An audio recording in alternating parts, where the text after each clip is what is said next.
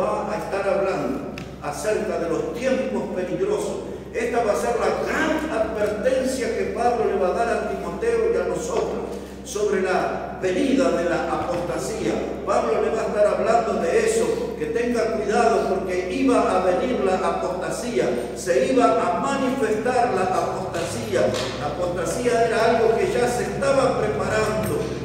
Y de paso, mis hermanos, recordamos que la apostasía, esa palabra significa alejarse de la verdad, caerse de la verdad. La palabra apostasía era una palabra que se utilizaba, por ejemplo, los marineros cuando un barco que estaba allí, hermano, amarrado en el puerto, y se desataba allí una tormenta y ese barco se desataba y entraba para adentro a la deriva. Allí se usaba el término apostasía. La apostasía habla de gente que anda sin rumbo, sin dirección, doctrinalmente hablando. También la palabra apostasía se utilizaba como un término político. La palabra apostasía cuando los, los estatutos, la constitución de una nación no era respetada, la ley de una nación no era respetada, era alterada o era dejada a un costado. Entonces ahí también se usaba la palabra apostasía, cuando ya se rechazaba la ley. Pero también la palabra apostasía la usaban los militares y los militares la usaban para hablar acerca de un desertor, de una persona que dejaba las filas del ejército y se pasaba al enemigo. Así que eso ilustra lo que es en el sentido espiritual la palabra apostasía. Habla de gente que se aleja de la verdad de Dios y milita en las filas del enemigo. Y de todo eso Pablo ahora le va a decir que se cuide, porque la apostasía iba a venir manifestándose en tiempos peligroso. Entonces leemos ahí, hermano, capítulo 3, versículo 1. Dice la palabra de Dios, también debes saber esto, que en los postreros días vendrán tiempos peligrosos. Que dice también debes saber esto, es decir, que te agrego, te doy más información de todo lo que te he dado, que avives el fuego, que no te olvides de Jesucristo, que prediques como un maestro, como un predicador, como un apóstol que da la verdad de Dios, que tú puedas retener las sanas palabras, que puedas ser un ejemplo como fue Pafrodito, que puedas ser como un maestro, como un soldado, un atleta, un labrador, un obrero, un, un este, instrumento de honra y un siervo, aparte de todo lo que te enseñé en Timoteo. Tienes que saber esto, que vendrán tiempos peligrosos. Esa expresión tiempos peligrosos, hermano, dos veces aparece en la Biblia. Aquí y en Mateo 8, 28, cuando Jesús venía allí cerca de un cementerio, dice que salieron dos hombres endemoniados, dice, feroces en gran manera. Esa palabra feroz es la misma palabra que se usa aquí, peligroso. Quiere decir que los tiempos que Pablo estaba hablando eran tiempos feroces, eran tiempos peligrosos, eran tiempos de violencia, tiempos de salvajismo. Y el cristiano iba a tener que estar preparado para eso. Pero cuando dice aquí la palabra de Dios, en los postreros días, todos aquellos que estudian la palabra de Dios coinciden en que es una referencia a la generación que va a vivir previo al regreso de Jesucristo. Si nosotros creemos que Cristo vendrá en este tiempo, en esta generación o en la de nuestros hijos, entonces tenemos que tener especial atención porque estos son los tiempos peligrosos. Dice Pablo, vendrán. En aquellos días la apostasía estaba naciendo, recién se estaba manifestando a través de los falsos maestros. Y ahora nosotros nos preguntamos, ¿por qué son tiempos peligrosos? En primer lugar, se me ocurre decir que son tiempos peligrosos porque son tiempos que atentan contra nuestra vida espiritual y contra la salud de nuestra alma. Todo lo que sucede a nuestro alrededor va en contra de nuestros valores espirituales, nuestros principios espirituales. Lo que sucede a nuestro alrededor va en contra de la doctrina de la palabra de Dios. Lo que sucede a nuestro alrededor es un peligro para nuestra alma porque afecta o intenta afectar salud espiritual, nuestra vida espiritual. También podemos decir que son tiempos peligrosos porque estos son tiempos de un olvido de la verdad. La verdad de Dios está siendo abandonada. La verdad de Dios está siendo olvidada. La verdad de Dios no está siendo predicada. Y eso hace que estos tiempos sean peligrosos. Los hombres están llenos de humanismo. Ustedes ven ahí a la gente que habla en términos como eso. Yo decreto, ¿eh? yo declaro, yo establezco. Y hablan así. ¿Y qué hace Dios si el hombre puede hacer todo eso? Dios es dejado a un costado y eso hace que estos días sean tiempos peligrosos. Son tiempos peligrosos, hermanos, porque ya no se predica el Evangelio. Hoy cuando usted escucha algo acerca de la Biblia, todo es muy aguado, todo está allí muy mezclado. Hay allí verdad mezclada con error y eso hace que los tiempos sean peligrosos. Hoy la gente no predica allí claramente sobre el pecado. Hoy la gente no predica claramente sobre el poder de la sangre de Cristo. No se predica claramente sobre la salvación eterna. Hoy en día son tiempos peligrosos porque el verdadero evangelio ha dejado de ser predicado, ha sido pervertido.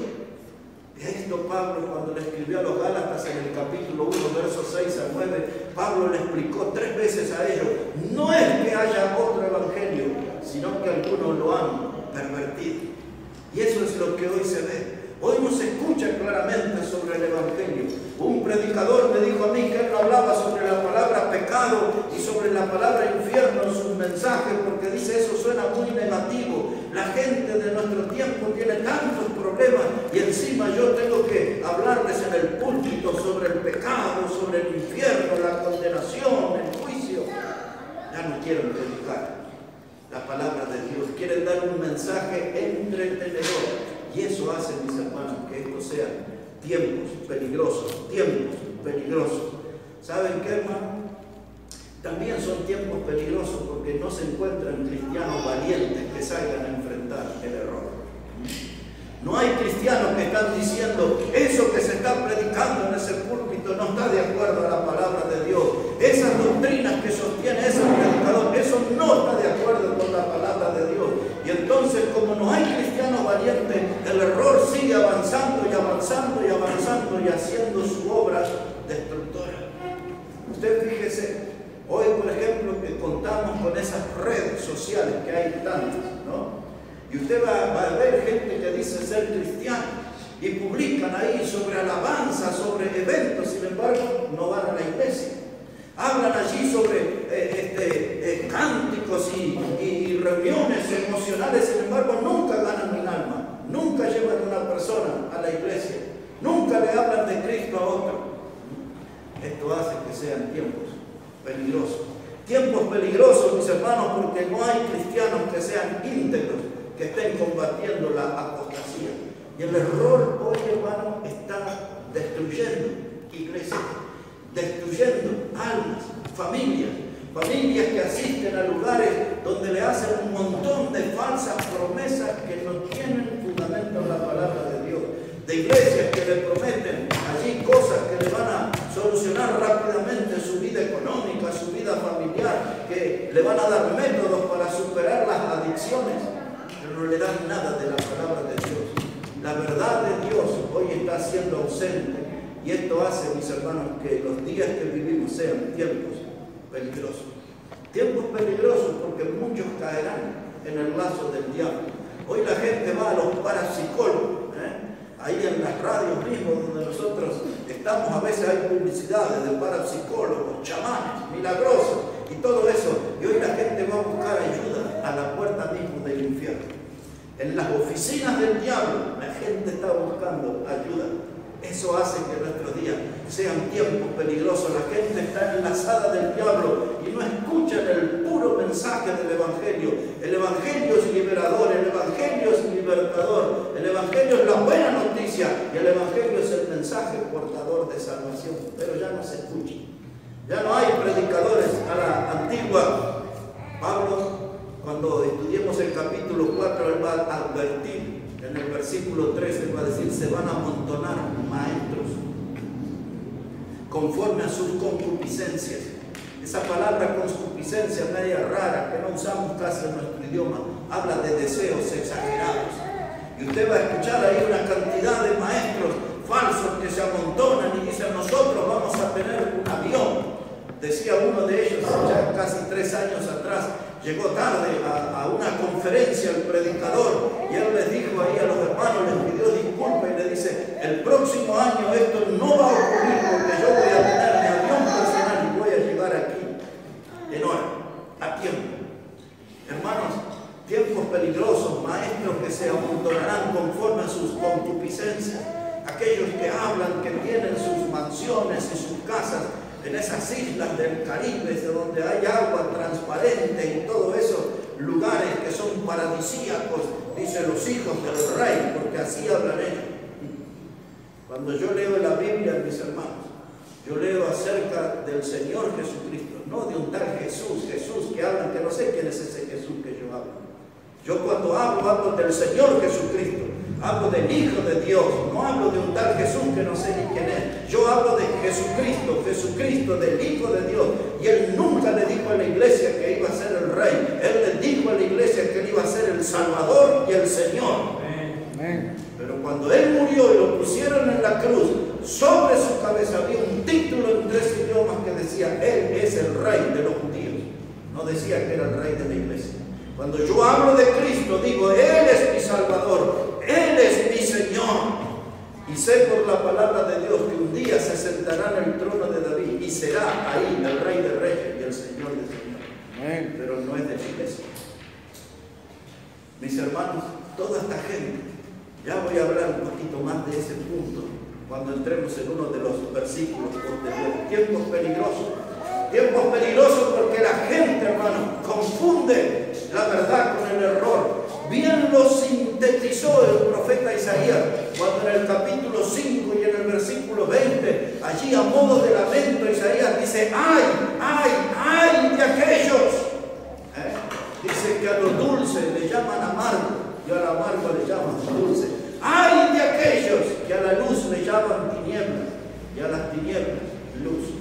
Él hablaba sobre un estado de confusión. Y de eso que hablaba Isaías es lo que se ve en estos tiempos. La gente no sabe discernir. A lo que es bueno le llaman malo y a lo que es malo le llaman bueno. A lo que es oscuro le llaman luz y a lo que es luz le llaman tinieblas. Hay días de confusión. De esto Pablo le está hablando a Timoteo y a nosotros. Vendrán tiempos peligrosos, tiempos peligrosos. Cuando Pablo le dijo, hermano, Ponga atención en esto. Cuando Pablo le dijo, vendrán, yo estoy hoy aquí para decirle, esos tiempos ya están, son los que estamos viviendo hace un buen rato. Hace largo rato, ya estamos viviendo esos tiempos peligrosos que Pablo advertía. Y ahora Pablo le va a pasar a dar a Timoteo y a nosotros la radiografía de aquellos apóstatas, la radiografía de los que iban a andar promoviendo el error, esclavos del error, y esa radiografía tiene 18 características. Las vamos a leer, pero voy a comentar solo dos o tres de ellas nada más. Observe ahí versículo 2. Segunda de Timoteo, el capítulo 3 y versículo 2. Dice que en esos tiempos peligrosos habrá hombres amadores de sí mismos, avaros, vanagloriosos, soberbios, blasfemos, desobedientes a los padres, ingratos, impíos, sin afecto natural, implacables, calumniadores, intemperantes, crueles, aborrecedores de lo bueno, traidores, impetuosos, infatuados, amadores de los deleites más que de Dios, que tendrán apariencia de piedad, pero negarán la eficacia de ella. Dice Pablo, a estos evita. Cuando vea gente que tiene estas características, aléjate, no tengas comunión, porque esta es gente tóxica, gente contaminada, dominada por el pecado. No tiene un buen cristiano que estar aquí, porque esa gente nos va a pasar su virus de contaminación, su virus de falsa doctrina. Ahora, piensen esto. Alguien un día hizo este análisis, dice, miren, son 18 las características en esta radiografía. Y dijo, hay una Trinidad Santa, Dios Padre, Dios Hijo y Dios Espíritu Santo. Hay una Trinidad satánica, el diablo, el dragón, la serpiente antigua, el anticristo y el falso profeta. Y alguien hizo esta división, dice, si usted no quiere olvidarse de esta, de esta generación, esta es la generación del anticristo, decía él. 18 dividido 3 le da ahí el 666. Llego a esa conclusión. No es algo muy profundo, pero interesante para recordar. ¿eh? La generación del 666. Aquí está. Bien, yo quiero que pensemos en esto que dice hombres amadores de sí mismos. Una persona que se ama a sí mismo. No tengo lugar para amar a Dios. No tengo lugar para amar a Cristo. No tengo lugar para compartir mis sentimientos. Soy un amador de sí mismo. A esa persona hoy se le llama narcisista también. Un amador de sí mismo es un presuntuoso, alguien que se cree que es lo más importante, es una persona egoísta, solo piensa en él, solamente sus pensamientos están ocupados en él, no tiene lugar para Dios. Y dice aquí también que estos serían avaros. Esa palabra avaro habla de gente deseosa por lo material, de gente que solamente se va a preocupar por lo material, de gente, hermanos, que le interesa mucho con dinero. Por eso, estos apóstoles, estos que se desviaron de la verdad, estos que se pasaron a la fila del enemigo, aún usted en los mismos púlpitos, los ve hablar más del dinero que del Señor Jesucristo. Ahí está la característica. Y hablan de plata, de plata y le hacen a la gente promesa falsa de cómo se van a enriquecer. Y la gente cada vez sigue más pobre y ellos se van enriqueciendo, van cocinando su fortuna. Y la Biblia dice, estos apóstoles le mirarás en el sello, en su radiografía, que son gente avara y dice vanagloriosos y soberbios, porque esos predicadores se paran ahí con sus trajes. ¿eh? de dos mil, de tres mil dólares y sus anillos y tienen ahí la, complicidad de las cámaras de la televisión que le enfocan las manos con sus uñas allí, que relucen ahí, no sé cómo se llama eso que se ponen en las uñas, y ahí sus anillos de alto precio y están allí mostrando todo eso y esta es la característica, son vanagloriosos, soberbios y llegan a las conferencias o a los hoteles donde se alojan allí en su limusín y le hacen toda su llegada de todos los preparativos. Ah, hay que tener cuidado, porque esa gente son dueños de palabras muertas, son dueños de fortunas económicas, pero dueños de palabras muertas. Sus mensajes no tienen vida, sus mensajes son pura emoción, son pura espuma, son de un efecto de muy poca duración. Y la gente los aplaude. Esa clase de predicadores son como el nuevo becerro de oro y la gente le rinde culto. La gente le da más importancia a las palabras de esos hombres que a la palabra de Dios. Dice, no, el predicador tal, hubo uno de ellos que un día dijo él, dice, usted no está escuchando a Dios, dice, usted está escuchando, el nombre ya ni me acuerdo, el apellido era Cherulo, ¿eh? Cherulo. Es un predicador que de los grupos pentecostales en los Estados Unidos no recuerdo bien, pero casi 10, 12 años atrás, él tenía que predicar en Salta, en el norte de la Argentina. Y él vino allí en un, avión, pero como no estaba toda la gente que, esperaba, tomó sus dineritos y se fue. Vanaglorioso, si no me llena un estadio no predico, si no pone tanta cantidad de gente, no voy a estar ahí adelante. Gente que son vanagloriosos, dice soberbio, por aquí a veces usamos una palabra, la palabra fanfarrón. ¿eh? Un fanfarrón es alguien que se cree gran cosa y se inflan sus vidas, se inflan, se inflan como un globo. Y alguien advirtió alguna vez, no se infle tanto porque vivimos en un mundo de alfileres. usted sabe lo que sucede cuando un alfiler entra en contacto con un globo. Así que los hijos de Dios no debemos hacer fanfarrones, no debemos ser altivos no debemos ser despreciativos. Esa clase de predicadores que son tan diferentes al profeta Elías que iba a comer a la casa de una viuda, ellos no aceptarían eso. Ellos quieren comer en sus hoteles de lujo y en sus restaurantes de lujo, con mesas con variedad de comida y hasta exigen agua mineral de tal o cual marca. Esta gente no tiene nada que ver con los verdaderos hombres de Dios. Y Pablo le dice, en estos tiempos peligrosos, estudia bien estas son las características que advierten que está frente a un rapaz. Vanagloriosos, soberbios. Y después se usa la palabra crueles. Esa palabra crueles es la que describe a una persona que es salvaje, Por eso la Biblia los, define a ellos como lobos rapaces. El lobo rapaz, hermano, come, despedaza la carne y destroza los huesos. Y es esto lo que hacen esta clase de apóstoles, esta clase de predicadores. Destrozan los rebaños, dejan el tendal de ovejas destruidas por todos los lugares donde van. Dice Pablo, son gente cruel, son aborrecedores de lo bueno. Es decir, que no hacen algo bueno ni de por casualidad, mis hermanos. Aborrecedores, donde está la oportunidad de hacer algo bueno, ellos no lo hacen. Y el principio de la Biblia es que el que sabe hacer lo bueno y no lo hace, es pecado y ellos son habitués en el pecado. Muchos de esta gente, y ya lo vamos a ver en un par de minutos nomás, son gente que se manejan en el mundo de la inmoralidad. Sin embargo, en las grandes iglesias, en los grandes eventos, en los estadios, la gente los aplaude. Son los nuevos hijos, son los nuevos becerros de oro. Y Pablo advierte a Timoteo y a nosotros, ten cuidado, porque vendrán sus tiempos donde te cruzarás con estas clases de gente, donde te aparecerán en el celular, en la computadora, donde verás sus rostros, sus imágenes en los grandes carteles de las grandes ciudades, en las grandes luminarias. Pero son lobos rapaces que no perdonarán al rebaño. Estos son, mis hermanos, gente que está con una fachada de religión, con una fachada de espiritualidad, pero hay gente, mis hermanos, que siempre desprecia lo espiritual y lo eternal. Déjeme repetir este detalle. Desprecian lo espiritual y lo eternal. Porque siempre le están diciendo, usted tiene que tener mejor ropa, usted tiene que tener una mejor casa, usted tiene que tener un mejor auto, usted tiene que tener una cuenta en el banco, usted tiene que tener esto. Y entonces eh, allí este, están ahí hablando con la gente y le dicen, ¿cuántos lo creen? ¿Y cuántos lo creen? Y la gente eufórica dice, yo lo creo que puedo tener plata, yo lo creo que puedo tener mejor casa.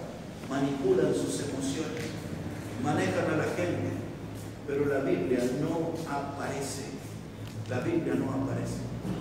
Hay una mujer que creo que es puertorriqueña ahí, apareció en los últimos tiempos, por lo menos yo supe algo de ella en los últimos tiempos. Se llama Shesenia y anda ahí predicando y gritando y nunca tiene una Biblia en la mano, nunca enseñan la Biblia. Ni las mujeres, ni, los hombres que andan así, nunca andan con una Biblia, lo están explicando como lo estamos haciendo en esta noche, que arrancamos del capítulo 1, capítulo 2 y vamos repasando los principios y los otros días andaba ahí mostrando sus piernas y descalza. Ahí me llegó un video, andaba descalza. ¿Saben qué, mis hermanos? Hay tanta payasada en los púlpitos de hoy y la Biblia brilla por su ausencia. Pablo le dice, ten cuidado porque esta gente son gente que aborrecen lo bueno, no quieren nunca hacer lo bueno. La última definición que Pablo le da aquí sobre ellos, dice, son amadores de los deleites más que de Dios. Por eso toda su prédica apunta a la vida terrenal a la prosperidad terrenal, a la riqueza terrenal. Toda su vida, eh, eh, sus mensajes van para maquillar a la gente de felicidad, de alegría. Y le dicen a la gente, tú eres el dueño de tu propio destino. La Biblia que yo leo dice que mi futuro está en las manos de Dios.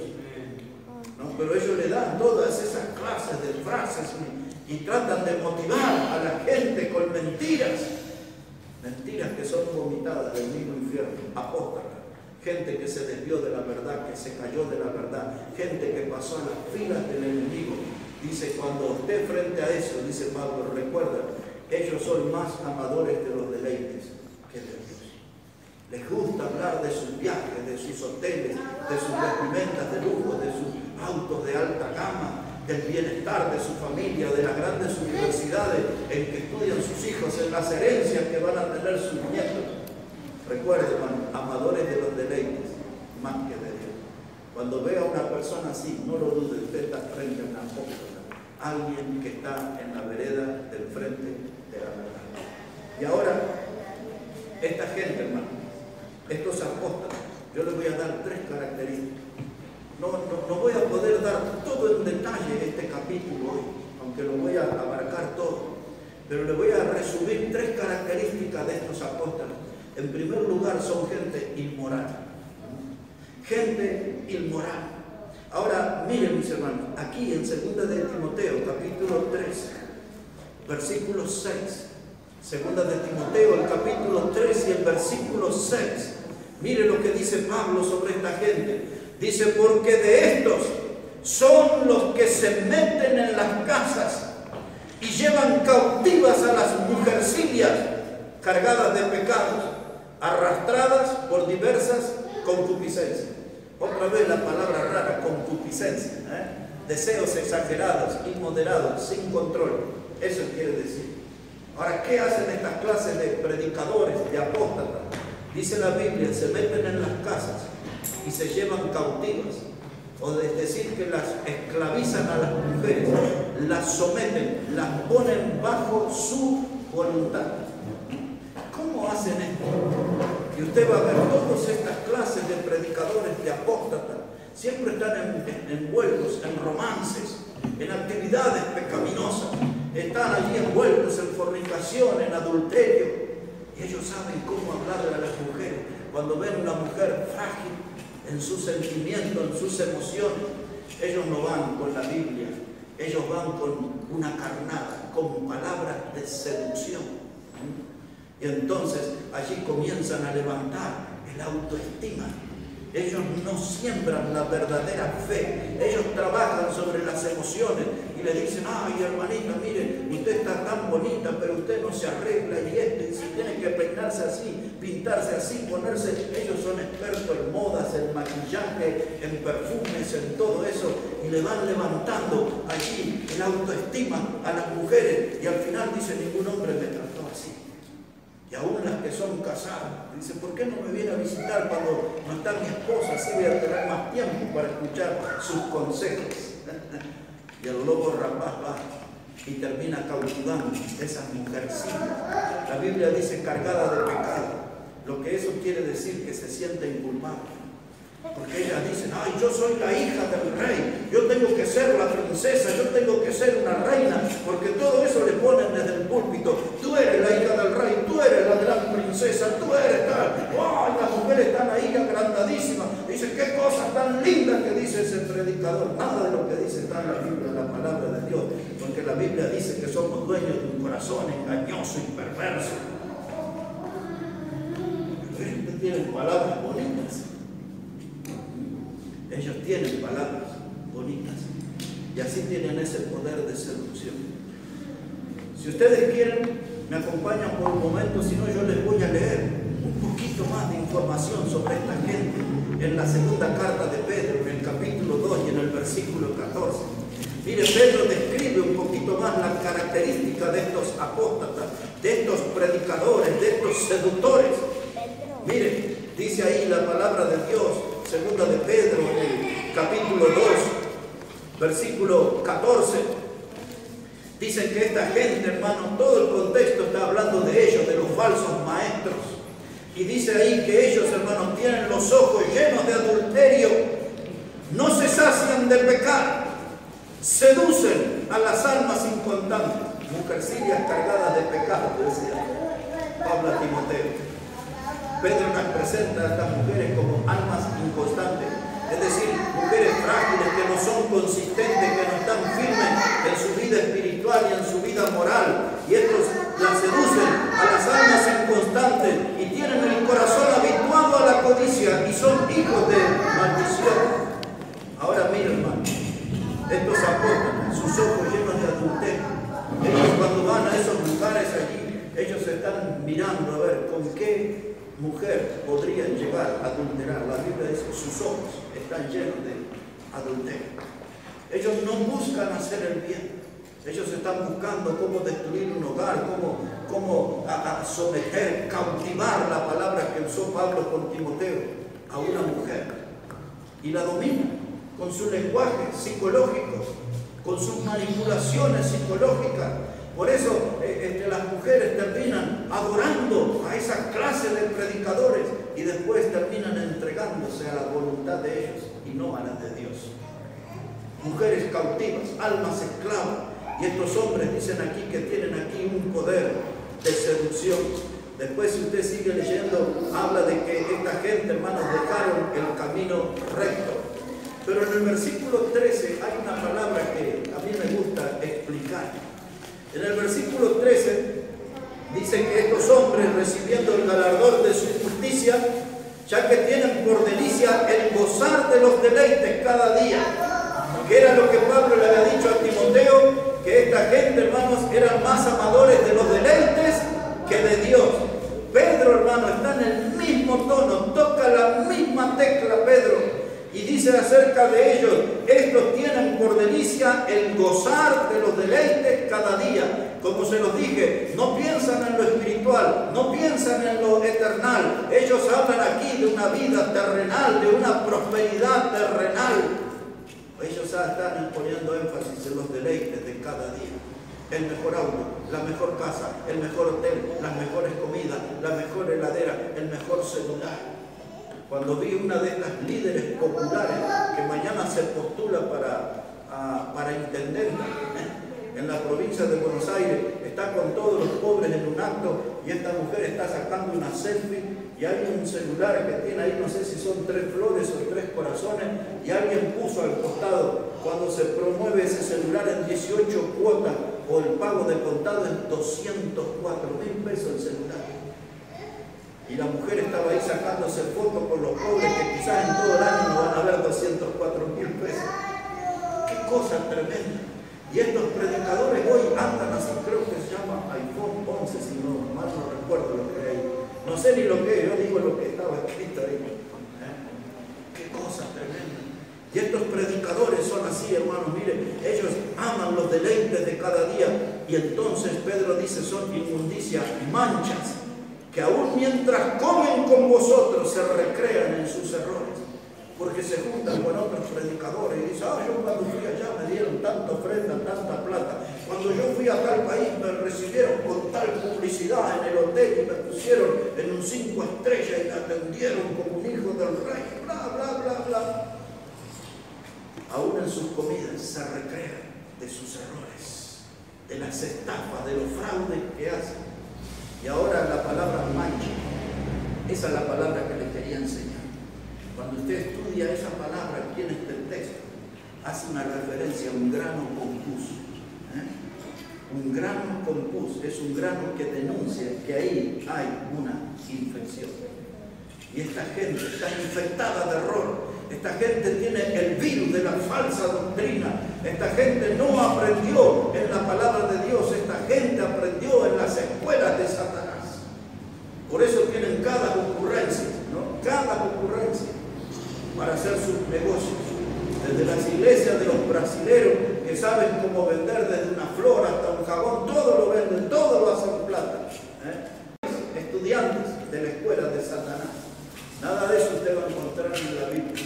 Esas son manchas en sus ágatas, granos de luz que hay que saber detectar. Y cuando usted ve la infección, Pablo le dice a Timoteo y a nosotros, evita los tales, evita, evita, aléjate, corre, huye de esa clase de gente, porque destrozarán tu alma y destrozarán tu familia. Esa gente no sabe lo que es la misericordia ni la piedad, son verdaderos lobos rapaces. Esa figura que usó Pablo para advertirle a la iglesia de Éfeso que después de su partida vendrían lobos rapaces. El mismo Señor Jesucristo dijo que nos enviaba como ovejas delante de lobos estamos advertidos por la palabra de Dios sobre esta actividad pecaminosa de estos apóstoles.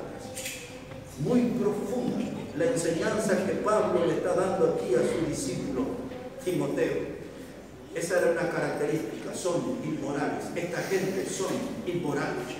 Y usted ve muchas de esas predicadoras famosas que tienen congregaciones de 15 mil, 20 mil a veces, y siempre están terminando o apareciendo en páginas como mujeres adúlteras. Esa es la invasión que tenemos del nuevo pesaderismo en las llamadas iglesias cristianas de hoy. ¿Cuántos predicadores se levantan como yo estoy hablando hoy y están diciendo estas cosas? La gente no quiere hablar. Los predicadores dicen, no, no quiero estar en problemas, no quiero hacer eso, quiero ocuparme de otra cosa. Nunca denuncian el error. El varón de Dios tiene que predicar la verdad, pero tiene que advertir sobre el error. En otras palabras, el varón de Dios tiene que advertir a la congregación, al rebaño, sobre el peligro de las hierbas venenosas que lo acechan. Vinimos a aprender de Pablo hoy, ¿no? ¿Cómo habló con Timoteo? Le dice, cuídate, son inmorales. Volvemos allí a segunda de Timoteo, en ese capítulo 3 y versículo 5. Miren la parte final. Ahí está otra característica sobresaliente de esta gente. Dice, ellos tendrán apariencia de piedad, pero negarán la eficacia de ella. A estos evita Dice Pablo, son inmorales y ahora le dice, tendrán apariencia de piedad.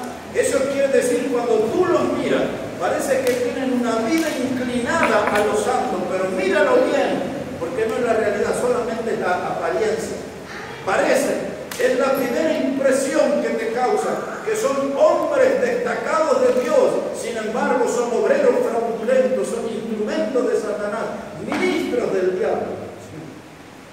Así que hermanos, tenemos que andar con buen ojo por esta vida, porque podemos llegar a ser víctimas de alguna de estas clases de personas. Algunos de ustedes ya fueron víctimas, ¿no?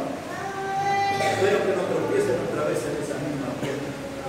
Pero Pablo le dice, mira, los tienen apariencia Se lo traduzco a nuestro idioma, son pura espuma. Todo lo que ellos hablan, sus grandes obras, sus grandes proyectos, su gran fama, su gran historial, espuma, espuma y nada más. Dice Pablo, sus ministerios están llenos de ruido, ruido, siempre están tocando su propio tambor. Nosotros predicamos a las multitudes, nosotros ganamos tantas almas, nosotros hicimos tantas obras, nosotros, nosotros, nosotros. Siempre hablan de ellos, nunca hablan de Dios. Porque todo lo que ellos hacen, lo hacen con un poder humano, no lo hacen con el poder de Dios. Pura espuma, puro ruido. Por lo tanto, lo que despiertan en la gente, todo es falsa expectativa. Con el paso del tiempo, el error no puede ser sostenido. En algún momento, el error sale a la luz. Y es eso, hermano, lo que se ve tanta gente desilusionada. ¿Cuánta gente aquí mismo que yo he hablado con hermanos y dice, sí, ya fuimos a hablar a tal taller, pero están desilusionados con el predicador. Allá ya no quieren saber nada con el Evangelio. Aquellos no, porque fueron engañados, fueron escapados una y otra vez. La gente dice, ya está, ya pasamos por las manos de esos lobos rapaces. No, pero ahora tenemos un buen predicador, uno fiel, no, no, déjenme, déjenme aquí, ya me alcanzó con la mala experiencia que tuve. Esta gente, mis hermanos, crearon falsa expectativa, falsas ilusiones. Y un día dejaron a la gente masticando bronca, frustración y fracaso.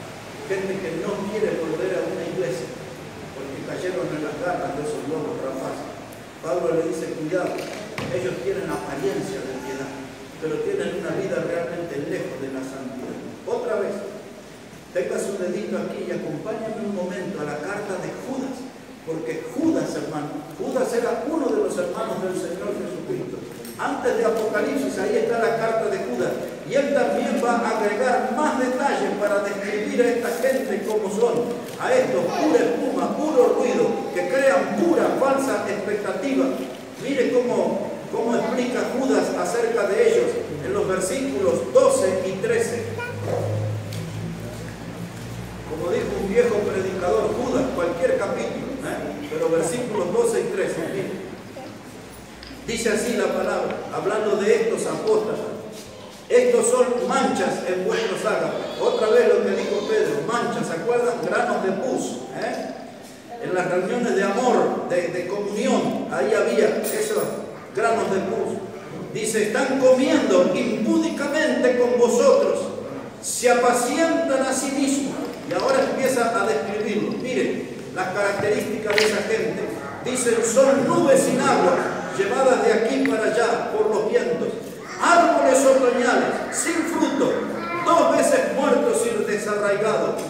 Fieras ondas del mar que espuman su propia vergüenza. Estrellas errantes para las cuales está reservada eternamente la oscuridad de las tinieblas.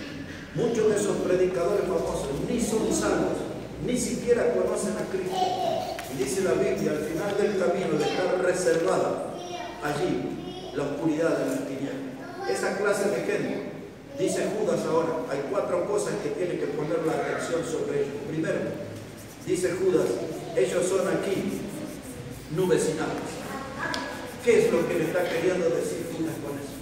La gente del campo, aquel que sembró y, y, puso las semillas allí, un día mira allí al cielo, como hace un rato, ¿no? los nubarrones que estaban anunciando que la lluvia se acercaba y el campesino se ilusiona, dice, oh, ahí viene buena agua del cielo para mi semilla, para que crezca, para que tenga fruto más rápido. Y de pronto vino una brisita, un viento y se llevó las nubes porque no tenía nada. ¿Qué hizo esa nube? Despertó una expectativa, no la cumplió. Despertó una ilusión, no la cumplió. Esto es lo que hacen estas clases de predicadores apóstoles son ilusionistas, despiertan ilusiones en la gente, expectativas en la gente, pero son como nubes sin agua. Las cosas que ellos enseñan son inconsistentes. Cualquier vientito se la lleva a un lugar a otro. Escribiendo a los Efesios, Pablo le hablaba de la firmeza y de no ser sacudido, movido por cualquier viento de doctrina. Dice, hermano, estas cosas necesitamos aprender como iglesia, porque portadores del error van a aparecer aquí Van a traer el último grito en teología. Ah, le traigo una novedad aquí, mire. Un descubrimiento, una revelación, un sueño, una visión. Van a aparecer esa clase de locos. Pero la Biblia dice, no se deje mover por cualquier viento de doctrina y por estratagema de Satanás. Porque es eso lo que usa esa clase de gente, estratagema de Satanás hay una palabra difícil de pronunciar, es la palabra predictador. Después la voy a explicar cuando llegue al versículo 8.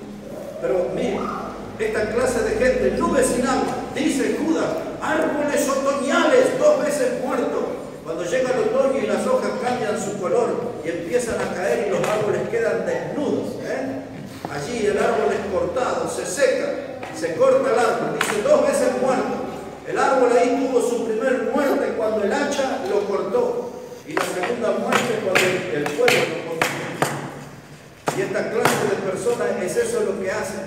Le corta la vida a la gente, le saca la manera de vivir y luego los terminan mandando al fuego del infierno, porque en su mensaje nunca hubo salvación. Todo fue motivación, motivación, motivación, exaltación de los ánimos pero nunca hubo un mensaje al alma y mis hermanos le digo en esta hora, nadie, nadie puede salvarse por un mensaje equivocado. Y en esa clase de prédica nunca hay salvación, nunca hay un llamado al arrepentimiento de los pecados, nunca hay un llamado a creer en el Señor Jesucristo como el Salvador, nunca hay un llamado al arrepentimiento verdadero, nunca hablan de pecado, ellos hablan de errores, flaquezas, debilidades, pero la Biblia habla de pecados inmundos. De eso es lo que tenemos que arrepentir. Grandes consejos le dio Pablo a Timoteo. Judas dice, agregando a lo que Pablo dijo, agua, son árboles otoñales, dos veces muertos. Y ahora dice, son ondas fieras del mar que espuman su propia vergüenza. Ahí está lo que le dice, pura espuma, puro ruido una fiera onda del mar, vienen unas olas allí, enormes hermanos, y hacen allí un ruido tremendo, y cuando llegan a la orilla, allí queda toda la espuma de la ola. Y ahí usted ve esa espuma, y entonces la ola, el agua entra mar adentro otra vez, ahí queda toda la basura que trae del mar. Eso es lo que hacen estos predicadores, son como las olas del mar, espuman su propia vergüenza parecen que son grandes cosas, hacen mucho ruido con su ministerio, pero después todo lo que queda es basura, basura, como hacen las olas del mar. Y por último le dice aquí Judas, la cuarta advertencia, son estrellas errantes. Esa expresión estrellas errantes. Vieron algunos de ustedes que vivieron en los cerros allá o, en los por esos lugares, ¿no? Más desérticos y de pronto sale ahí en el campo y se cruza una estrella en y alguien le puede dice, pedí tres deseos, tres deseos, dale, dale, dale, dale. ¿Eh? Imagínense una noche ahí, ¿no? En la zona desértica, allá por Cocó, no por esos lugares, ahí por donde estaba el hermano Bernardo, cerca de la frontera con Chile. Y allí en esos lugares desérticos y se cruza esa estrella, usted se queda mirándola, quizás con la boca abierta. ¡Wow!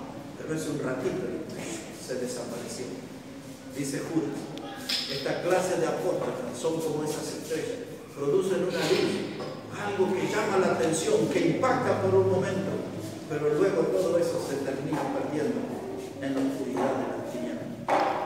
Pablo le dice a Timoteo, cuídate de esa clase de gente. Pedro agrega características de sus apóstoles. Judas agrega nuevas características. Y ahora volvemos a la tercera advertencia. Primero Pablo le dijo, son inmorales. En segundo lugar, Pablo le dice a Timoteo, tienen apariencia de piedad. Y la tercera cosa que le va a decir en el versículo 8, son gente que resisten la verdad. Observe por mí. Segunda de Timoteo 3, verso 8, dice, y de la manera que Janes y Jambres resistieron a Moisés, así también estos resisten a la verdad, hombres corruptos de entendimientos, reprobos en cuanto a la fe. Mire hermano, dice que esta gente resisten a la verdad. Por eso ellos dicen, yo tengo una revelación de Dios. No tienen la Biblia. Ellos tienen su propia revelación. Ellos hablan a la multitud y dicen, Dios me dijo, Dios me habló. Nunca, nunca dicen, la Biblia dice, la Biblia dice. Porque ni siquiera leen la Biblia ni la llevan a los púlpitos a veces. Y esta gente lo que hace, dice, resiste a la verdad. Y ahora, Pablo o el Espíritu Santo revela a Pablo dos nombres, Janes y James. Dos nombres que revelan la característica de los apóstatas. Antes nos había hablado de Himeneo y Fileto. Después nos había hablado de Himeneo y Hermógenes. Y ahora nos habla de Janes y Jambres. Parece que los apóstatas andan siempre de a dos. ¿No? Y dice, estos resisten la verdad. Porque Pablo está diciendo cuando Moisés puso la vara frente al faraón y se transformó en una culebra, entonces vinieron los hechiceros, se hicieron lo mismo. Y luego cuando Moisés trajo las ranas, vinieron los hechiceros, se hicieron lo mismo. El diablo siempre tratando de imitar la obra de Dios. Pero esa gente, hermano, hacía esas cosas con poder del diablo porque era gente que resistían a la verdad. No aceptaban a Moisés, el varón de Dios y el poder de Dios que manifestaba. Ellos creían que tenían un poder superior, mejor. Y es esto lo que hacen esta clase de apóstatas y predicadores. Se olvidan de la Biblia, marginan la Biblia y todo lo que hacen es palabrería humana dicen aquí en la ciudad, todo es chamullo, puro chamullo y nada más. Wow, Dios nos libre de caer de las garras de esos lobos rapaces que se multiplican como hongos después de la lluvia. Están por todos lados, están al acecho, buscando almas allí frágiles para tratar de cautivarlas, apoderarse de ellas. Dice, son como Janes y Jambre, gente que está contaminada completamente, gente, hermanos, que son depravados, gente que distorsiona la verdad de Dios. Y usa ahí la palabra Pablo, réprobos. ¿eh? Es un término que no usamos mucho, pero esa palabra réprobo significa que son gente descalificada. Allí en el fondo está como esa frase, gente descalificada, así como usted tiene que dejar de usar, eliminar una moneda falsa. Esta gente es moneda falsa, con promesa falsa, deséchela, déjela. Así como usted y yo no deberíamos usar dinero falso, nunca. No deberíamos usar los mensajes el estilo de vida de esto, porque esta gente y su prédica, ellos y su prédica están descartados por falta de valor. Todo lo que ellos dicen es todo inutilidad, cosas inútiles. Ahora estamos entendiendo por qué le dijo Pablo ahí, vendrán tiempos peligrosos. tiempos peligrosos, porque esta clase de gente estará aquí. Le voy a dar tres últimas cosas en la recta final, porque ya creo que hemos estado un largo tiempo aquí.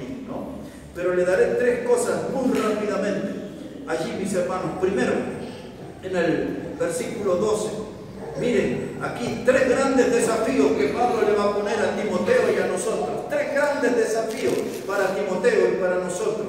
Capítulo 3, versículo 12. Miren cómo le dice allí. Dice, también todos los que quieren vivir piadosamente en Cristo Jesús padecerán persecución. Esta es la advertencia que le da Pablo. ¿Quieres vivir piadosamente? ¿Quieres vivir una vida pura, una vida santa? ¿Quieres vivir una vida de acuerdo a la palabra de Dios? Prepárate, padecerás persecución. Y allí no puedes ser débil, allí no puedes tener una actitud cobarde, allí tienes que ser valiente, una persona esforzada. Cuando aparezca la persecución, no puedes abandonar la fe. Cuando aparezca la persecución, no puedes enfriar tu alma. Cuando miramos la historia de la iglesia bautista, nunca la iglesia bautista tuvo mejor salud que en la época de persecución. Cuando la iglesia fue perseguida, más creció. Cuando la iglesia fue perseguida, más se fortaleció. Y nosotros, mis hermanos, estamos ignorando lo que está pasando en este mundo de hoy. Cuando usted mira países como Marruecos, países como Kenia, en el África, ahí están quemándose a nuestros hermanos, los ponen en zanjas y les dan ahí con palos, con varas y después esos mismos palos los ponen sobre ellos y los prenden fuego públicamente. Están quemando templos por todos lados. En la Semana Santa, en el mes de abril de este año, en un país que se llama Sri Lanka, Sri Lanka, antes se llamaba Ceilán. Allí quemaron los templos, mataron 290 personas entre templos y hoteles en ese domingo de la Semana Santa de este año. Nuestros hermanos están siendo perseguidos por todo el mundo y nosotros estamos aquí como en un oasis de paz. Pero la Biblia dice, prepárate porque vas a padecer persecución. No lo busque, se lo leo para usted. Dice Jesús en Mateo 5, versículo 10, dice el Señor Jesucristo, bienaventurados los que padecen persecución por causa de la justicia, porque de ellos es el reino de los cielos.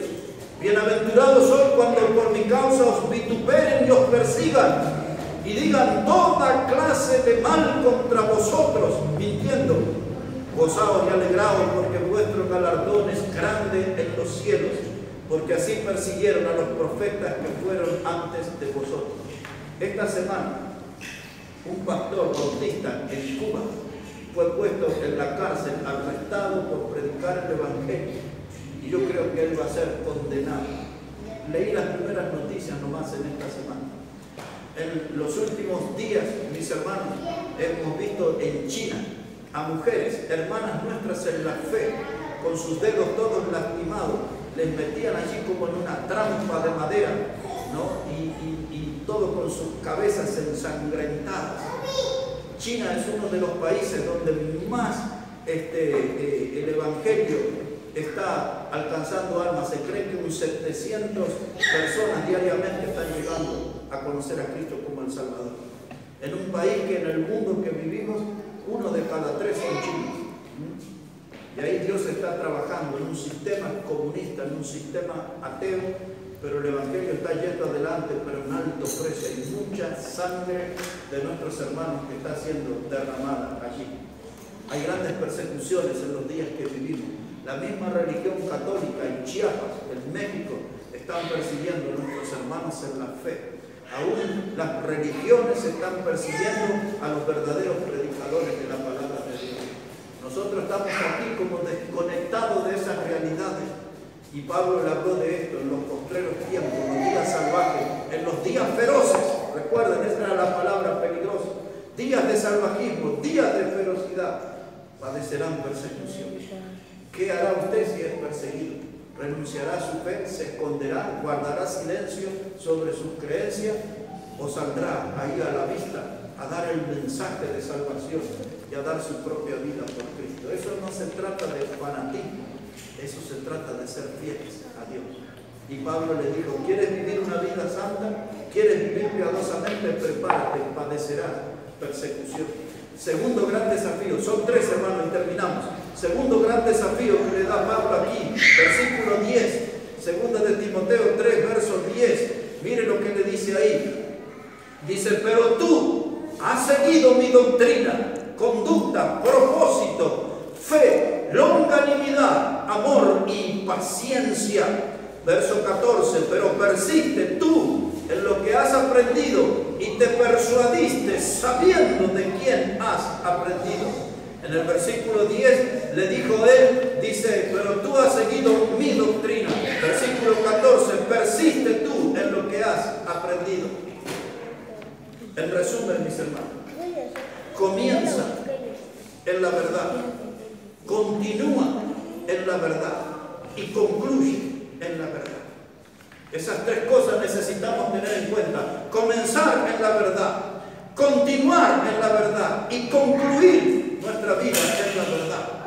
El apóstol Juan dijo en una de sus cartas que él se alegraba al saber que sus hijos andaban en la verdad. Vendrán tiempos difíciles, vendrán tiempos peligrosos, pero hay que andar en la verdad, permanecer en la verdad. Cuando uno no está en la verdad, pasa a la apostasía. Cuando ustedes leen, no lo vamos a buscar ahora, solo lo vamos a recordar. Cuando en el Evangelio de Juan capítulo 6, versos 60 al 66, el Señor Jesús estuvo dando ahí un mensaje duro y la gente se quejó de la prédica. Eso es alentador para los predicadores de hoy. Si la gente se quejó de la prédica del Señor Jesús, ¿cómo no se va a quejar de las nuestras? La gente dijo, duras palabras honestas, ¿quién podrá oírlas? Palabras, esa clase de predicación no nos gusta. ¿Puede darnos un mensaje más suave? ¿Puede darnos un mensaje más optimista? ¿Puede darnos un mensaje de ánimo? La gente se quejó al Señor Jesús y dijo, duras palabras honestas, ¿quién podrá oírla? Y llega el versículo 66 y dice que muchos ya no seguían con él, se volvieron atrás. No querían seguir a Cristo. Ya no queremos escuchar esa predicación. Queremos escuchar a mensajes más suaves, mensajes más dulces, mensajes más de ánimo. No queremos que nos hagan sentir en una prédica entre la espada y la pared. Oh, queremos palabras bonitas para nuestro oído. Queremos palabras poéticas, duras palabras honestas. Y no querían andar con él. El Señor miró a sus discípulos, a los doce, y les dijo, cuando vio que esta gente ya no quería caminar con él y se iba, le dijo, ¿acaso también queréis vosotros ir con él? ¿Quieren seguir ustedes? Se le robó. Y Pedro, como siempre, se anticipó y dijo, ¿a dónde iremos, Señor? ¿A quién iremos? Si tú tienes las palabras de vida. Yo prefiero una predicación fuerte yo prefiero esa clase de predicación que me mueva el piso, que me sacuda el alma. Yo prefiero esa clase de predicación que me desafíe, esa clase de predicación que me exhorte a abandonar el pecado, a ser más santo, a ser más fiel, más obediente. No quiero una predicación poética, no quiero una predicación edulcorada, yo quiero una predicación verdadera. Pedro dijo, ¿a dónde iremos si tú tienes la palabra de vida? Ahí donde hay palabra de vida, ahí me quiero quedar. Dice Pablo, primer desafío, quieres tener una vida santa, piadosa, prepárate, padecerás persecución.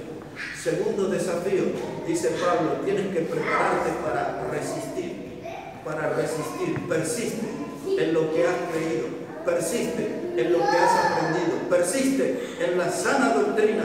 Dice Pablo, tú has seguido mi doctrina.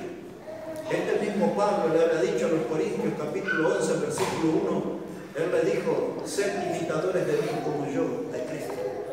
En otras palabras, Pablo le decía a Timoteo, si tú me estás siguiendo a mí, estás siguiendo a Cristo porque yo soy seguidor de Cristo. Y ahí, hermano, en esa huella tenemos que andar nosotros. Vamos a ser tentados, vamos a ser seducidos. Iglesias más cerca de nuestra casa, iglesias con mejores edificios, con mayores comodidades. Muchas veces el diablo va a venir con esas clases de propuestas pero yo tengo que permanecer en el lugar donde Dios me quiere, tengo que permanecer donde está la sana doctrina. Y de esto le habla Pablo, de prepararse para persistir en la fe en medio de los tiempos peligrosos. Esta palabra que Pablo le dice, pero tú has seguido mi doctrina, es la palabra que nosotros usamos. Ah, aquí teníamos antes un hermano que trabajaba con zapatos usaba él cemento ¿eh? para pegar, para adherir. Y es esa la palabra. Cuando la misma palabra que en el Génesis dice que cuando el hombre se une a la mujer será una sola carne, es esa la idea, adherir, de pegar. La palabra aquí, tú has seguido mi doctrina, dice Pablo, tú te has adherido a mí, tú eres lo que hoy llamaríamos nosotros, eres una copia, una fotocopia original, legalizada una fotocopia. Tú y yo somos la misma cosa, somos iguales. Tú has seguido mi doctrina, una fotocopia original, autenticada. Usted y yo tenemos que ser igual a Pablo, porque sabemos que Pablo era igual a Cristo. Imitador. Y el tercer y último ejemplo para terminar. Primero le dijo, prepárate para recibir persecución. Segundo le dijo, prepárate para persistir en la doctrina. Y por último le dice Pablo, prepárate para experimentar el poder de la verdad, el poder de la Biblia. ¿eh? Mire, ahí en el versículo 16, por favor, y terminamos. Dice aquí, dice, toda la escritura es inspirada por Dios y útil para enseñar, para redarguir, para corregir, para instruir en justicia, a fin de que el hombre de Dios sea perfecto y enteramente preparado para toda buena obra. Lo primero que le dice toda la escritura es inspirar. ¿Recuerdan cuando estudiamos sobre la doctrina de cómo nos llegó la Biblia y estudiamos la inspiración y estudiamos la revelación y estudiamos la preservación y la iluminación de la escritura? Pero la palabra inspiración significa soplo, exhalar, la Biblia, hermano, no es algo que nació en el corazón del hombre. La Biblia es la pura palabra de Dios. La Biblia fue soplada por Dios, así como sopló en el hombre aliento de vida. Allí, hermano, Dios sopló la palabra de Dios, exhaló. ¿eh? Y esta Biblia nos llegó por medio de Dios. Y hablábamos que nosotros adheríamos a la creencia verbal y plenaria. Y eso verbal y plenaria quiere decir que aceptamos la Biblia como que ella es la palabra de Dios, letra por letra y paso por paso. Es eso, verbal y. Letra por letra y paso por paso. La Biblia es la palabra de Dios. No es el producto humano, es enteramente la palabra de Dios. Inspiración dice Pablo, toda la escritura, de Génesis hasta Apocalipsis, todo es la palabra de Dios, la verdad soplada, la verdad eterna, la verdad indestructible, la verdad poderosa. Timoteo, prepárate a experimentar la verdad poderosa. Que los cielos y la tierra pasarán, pero mi palabra, dice el Señor, no pasará. La flor de la hierba dice que crece y se marchita, pero la palabra de Dios permanece siempre. Prepárate para una experiencia con este libro maravilloso, la Biblia, la palabra de Dios. Y ahora Él está diciendo porque este libro te va a enseñar. Toda la escritura es inspirada y es útil para enseñar. Lo que esa palabra enseñar quiere decir es que cada porción de este libro es provechosa las palabras de los hombres, palabras infladas, palabras edulcoradas, palabras maquilladas, palabras tóxicas, palabras muertas, las palabras de los apóstatas no sirven para nada. Cada porción de la Biblia inspirada por Dios es de provecho para nosotros. Es útil para enseñar. Cada porción nos va a regalar una enseñanza para nuestra alma. Y dice, la Biblia también sirve para redarguir. Esa palabra redarguir nos habla de, encontrar aquí fundamentos, aquí para contrarrestar el error. La palabra redarguir tiene que ver con formar convicción. La Biblia va a formar convicción en cada uno de nosotros. La Biblia va también a convencer a los que están en error. La Biblia sirve para eso para iluminar a los que están en el error y traernos a la verdad. Y le dice, sí, para enseñar, para redarguir, para corregir. Porque la Biblia restaura al pecador caído. Por eso cada uno de nosotros podemos hablar de nuestras andanzas en el pecado. Si usted quiere llamarle las hazañas en el pecado, eran puros fracasos, pero nosotros creíamos que eran grandes hazañas, ¿no? Eran puros fracasos. Pero cuando la Biblia entró a nuestra vida, cuando el Evangelio nos salvó, la Biblia, hermano, corrigió, corrigió y nos restauró a nosotros como pecadores que estábamos caídos Y hoy andamos en el camino correcto, no porque seamos sabios, sino porque la palabra de Dios tomó lugar en nuestra vida. Dice Pablo, esta Biblia te va a ayudar para eso, para enseñar, para redarguir, para corregir y dice para instruir Oh, la Biblia es útil para instruir. Y eso me lleva al Antiguo Testamento, al libro de los Proverbios, cuando dice, instruye al niño en su camino y cuando sea grande, no se apartará de él. La Biblia me va a enseñar el verdadero camino. Ella es la lámpara a mis pies. Y no me voy a apartar de ese camino. Jesucristo es el camino. Y dice que la Biblia también, hermanos, termina diciendo aquí, para que el hombre de Dios sea perfecto. Esa palabra perfecto no significa que el hombre va a ser sin error, sino que va a ser completo. La Biblia nos va a proveer todo a nuestra vida para hacer un buen ministerio, una buena obra para la gloria de Dios. Un hombre perfecto, un hombre completo. El poder de la Biblia, mis hermanos, es lo que nos va a salvar a nosotros de los tiempos peligrosos. Y el poder de la Biblia es lo que nos va a salvar a nosotros de caer en la trampa de la apostasía. El poder de la Biblia es lo que nos va a mantener con buena salud espiritual. Y el poder de la Biblia es lo que nos va a ayudar a dar un gran testimonio que le dé gloria y honra a Dios y a nuestro Señor Aquí están los consejos de Pablo a Timoteo. Y nos queda un capítulo 4 para otra oportunidad. Bueno, que Dios bendiga su palabra en este día.